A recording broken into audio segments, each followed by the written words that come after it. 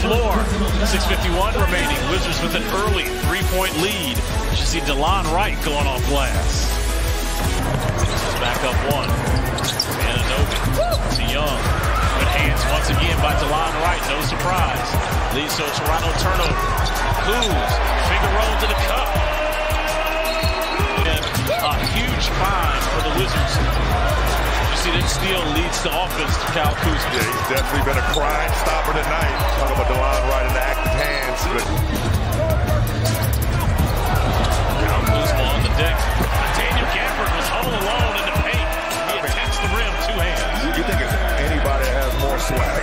Gafford?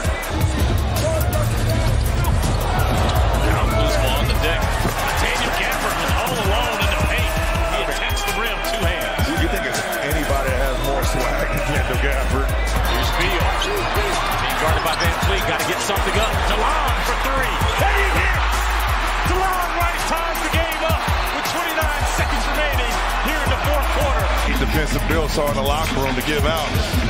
I don't think it's going to be such a tough choice tonight because KP trying to get open.